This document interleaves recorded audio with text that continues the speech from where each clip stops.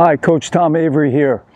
One of my subscribers uh, posted a comment saying, Tom, what do you mean about point number four? And point number, number four was all about aiming higher on the second serve, on the kick serve. So, he's Spanish, so it's apuntar más alto. Apuntar más alto, aim higher. Now, you notice I have some X's on the back fence.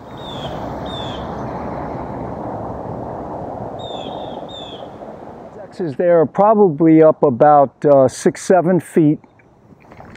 So I want you to aim there when you're hitting this topspin serve. Now, first of all, you have to have a continental grip or an eastern backhand.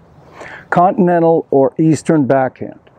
Continental is going to be here where the index knuckle and the palm of the hand are on number two, that's continental, or eastern backhand where you move them to number one. Either you're going to be on two or one. Okay, so once you have the grip, you've got the continental grip or the eastern backhand, you don't want to toss the ball too high. If the ball is tossed too high, the racket will not be rising into the ball, okay? If the ball's way up there, the racket's all played out and you cannot impart the spin. So don't toss the ball too high just to the peak of your reach, slightly over your head so you can get a good angle as you're coming up to get the topspin. And I want you to visualize the ball leaving your strings ascending. There, I want you to visualize when you brush, when you brush up, the ball is ascending off of your strings. Now, this is not necessarily what happens, but I want you to visualize that. Okay, so I want you to think of the ball ascending off your strings. Now, to start it off, I want you to swing in slow motion, okay, about 25% of your normal speed or 50%, and I want you to aim very high over the net. Okay, so I'm aiming very high there. I'm looking at the X's and I'm swinging very slow and just going up. You can see how that ball kicks up there.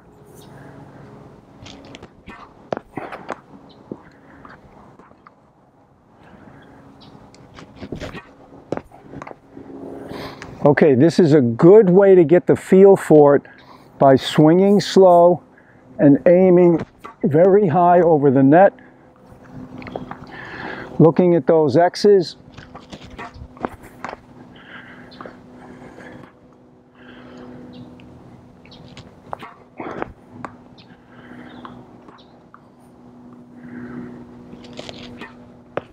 So I don't worry about hitting long.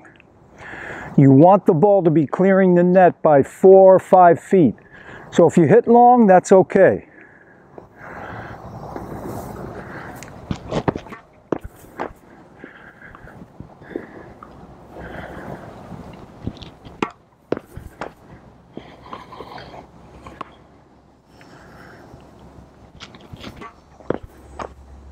Swing slow, aim high.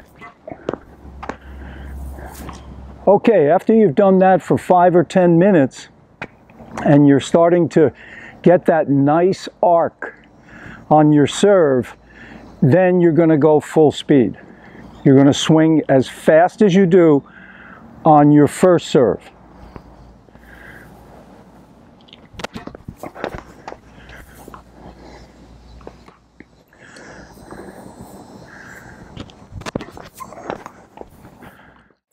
Okay, let's take a look in slow motion. As the hands drop, the weight goes to the rear foot. And now as the hands come up, the weight will go to both feet platform position right there. Now, right now I'm thinking vertical, Notice the ball toss is over the head, and I'm just thinking straight up. I'm swinging straight up almost, and the racket was rising there. Look at the net clearance here. It's not quite at the net, but look at how high the ball is. Goes over the net probably about four feet at least, maybe five. And I get a decent kick. Not like I used to, but not bad.